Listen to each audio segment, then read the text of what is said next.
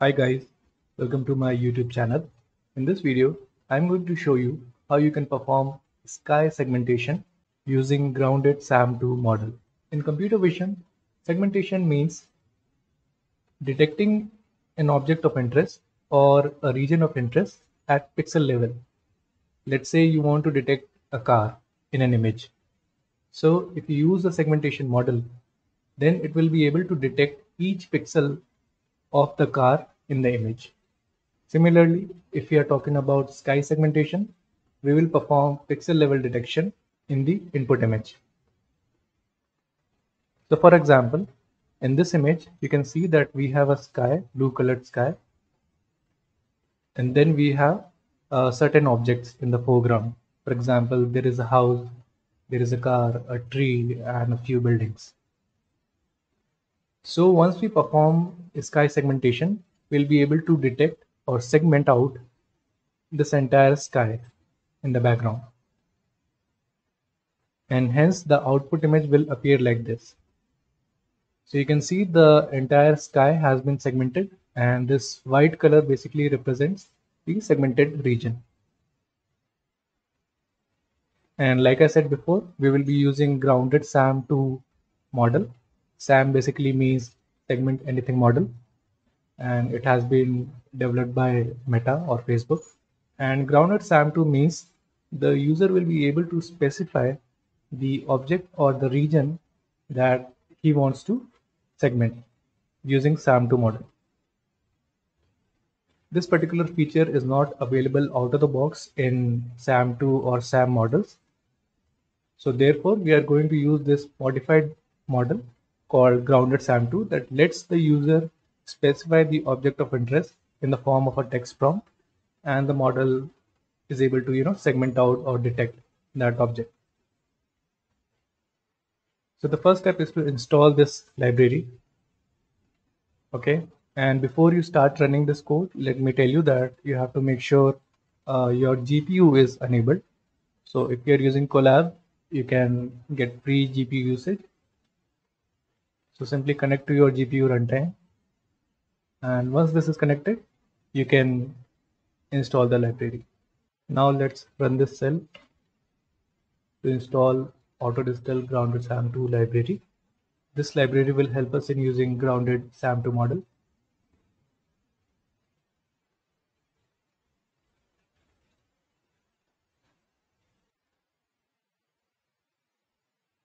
Next we will import some necessary modules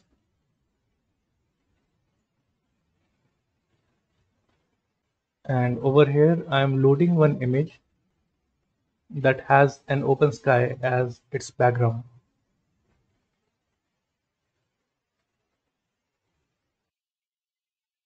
Okay, so this is the input image that I will be using. And here you can see that we have a cloudy sky. Let's see how our model performs sky segmentation on this image. Next, we have to specify the prompt for the object that we want to segment or the region that we want to segment. So here, since we want to segment sky, you can specify uh, your prompt over here. This is the prompt, okay? And this particular thing is nothing but a label for your uh, prompt. So you don't have to use any complex prompt here. Specify your object or region in one or two words. That's enough.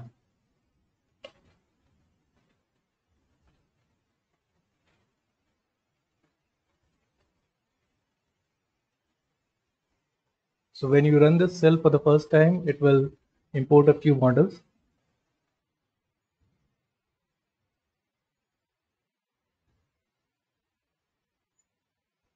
Next, with the help of this predict function, we can easily perform segmentation.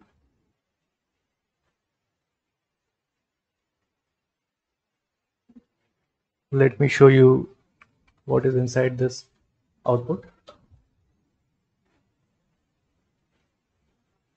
So here uh, we have two components.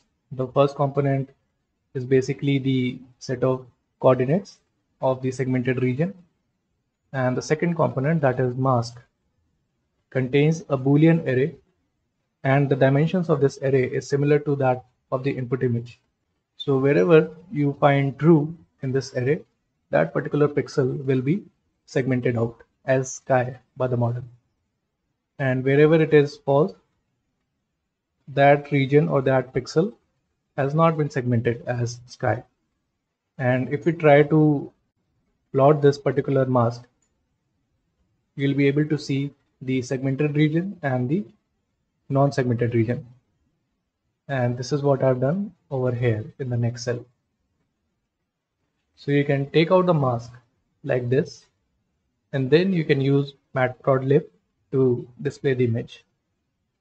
So here you can see all the black region is basically the non-segmented region and the white region is the segmented region that the model thinks is the sky.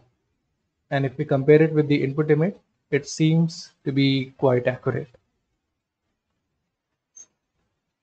Next over here, uh, I'm converting my mask from boolean data type to integer data type. And this is required because I'm planning to replace the actual sky in the input image with another sky or another background. Therefore, I'm first converting it into an integer array and then I'm making sure that all the non-zero values are 255. So 255 means white color. And this is how the output mask image will look like. Next, I will also perform some dilation on my mask image.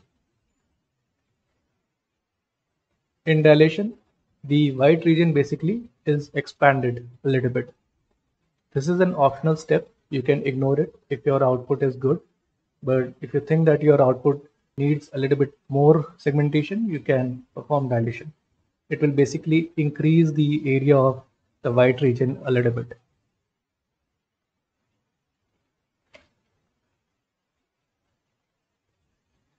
Okay I forgot running this cell so I'll run the cell first and then I will run dilation.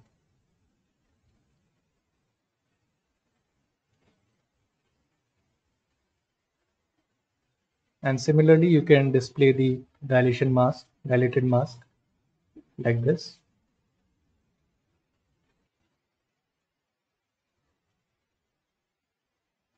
And now we will see how we can replace the original sky in the input image with a different background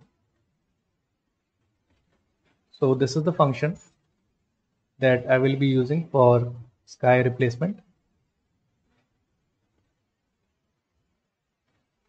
I'll put a link to this notebook in the description section so you can find the entire code from that link. So simply run this cell. So this function basically takes three inputs, the input image or the foreground image, the background image and the mask image. So the mask image is basically the mask of the sky that you have already extracted with the help of grounded SAM2 model. And the input image will be used as it is. And the background image is basically the background that you want to replace the original sky with. Okay and this is how we can pass all the three parameters.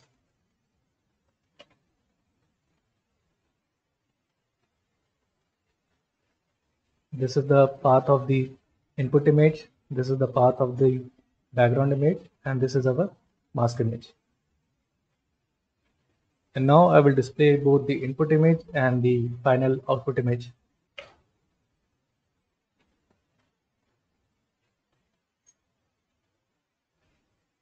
so there you go this is our input image on the left hand side and on the right hand side we have the output image with a new sky or new background. So this is how you can perform sky segmentation in any image. And instead of a static background, you can also replace the background or replace the sky with animated background or a video as well and that's it from my side. Thank you for watching